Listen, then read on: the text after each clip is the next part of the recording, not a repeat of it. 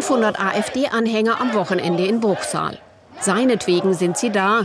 Björn Höcke aus Thüringen, Repräsentant des rechten Rands der AfD. Herzliche Begrüßung von baden-württembergischen AfD-Landtagsabgeordneten wie Christina Baum und Rainer Balzer. Der örtliche AfD-Sprecher gibt den Ton vor. Ist man für den Fortbestand Deutschlands oder dagegen? Es geht um Einwanderung, Moslems, Multikulturalismus, auch das Thema von Björn Höcke. Er meint, Deutsche würden zu Fremden im eigenen Land und spricht von Staatszerfall.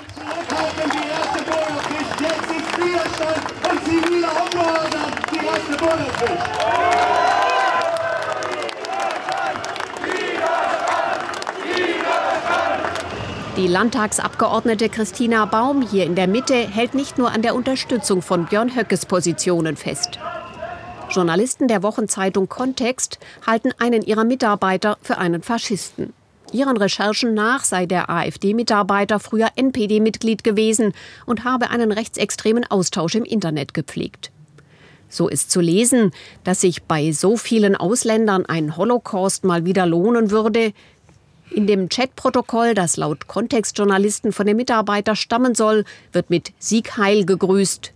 Für die Rechercheure eine eindeutige Sache. Es wird äh, Verehrung für Adolf Hitler zum Ausdruck gebracht zu Anders Breivik äh, mit Äußerungen, dass er sich einen Bürgerkrieg herbeisehne, dass er Millionen Toten wünsche, dass er auf Leichen tanzen und auf Gräbern wissen, äh, pissen wollte, also alles im Zitat. Äh, und deswegen halten wir es für durchaus gerechtfertigt, hier von Neofaschismus zu reden. Es ist nicht das erste Mal, dass AfD-Mitarbeitern im Landtag derartige Vorwürfe gemacht werden. Mindestens zwei weitere sollen eine rechtsextreme Vergangenheit haben. Grund genug für die Sozialdemokraten, die Parlamentspräsidentin um Aufklärung zu bitten. Denn wenn extremistische Personen im Kernbereich der Demokratie, nämlich im Parlamentarismus arbeiten, dann sehen wir da in der Tat auch die Demokratie gefährdet und die Wehrhaftigkeit unserer Demokratie muss auch im Plenum, im Parlament äh, verteidigt werden und sichtbar gemacht werden. Das Landtagspräsidium soll sich morgen damit beschäftigen.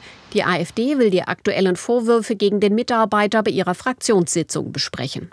Das wäre sicherlich dann die letzte Konsequenz, dass die beiden Abgeordneten sich von diesem Mitarbeiter trennen müssten. Und äh, da bleibt die Entscheidung bei den beiden. Und da wollen wir sehen, ob sie das tun. Dafür gibt es bisher keine Anzeichen. Christina Baum hat sich nach den Veröffentlichungen stets vor ihren Mitarbeiter gestellt. Die Vorwürfe seien unbewiesen, der betreffende Mitarbeiter sehr gut.